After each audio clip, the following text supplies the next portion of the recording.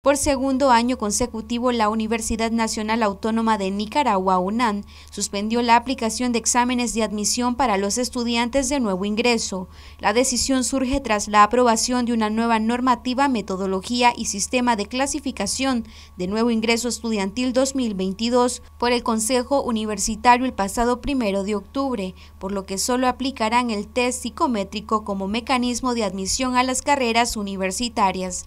El documento fue presentado presentado por el vicerrector general, el doctor Luis Alfredo Lobato Blanco, quien en calidad de presidente de la Comisión Central de Ingreso detalló, entre otros aspectos, que el próximo año se aplicará del 18 al 22 de enero el test psicométrico como mecanismo de admisión a las carreras que lo requieran. A diferencia de años anteriores, los postulantes efectuarán su prematrícula cuando hayan complementado la documentación solicitada y hayan pagado un arancel único de 350 córdobas. Los resultados de las primeras fases serán publicados el viernes 4 de febrero. Según informaron las autoridades, en los próximos días se publicarán los documentos correspondientes al nuevo ingreso.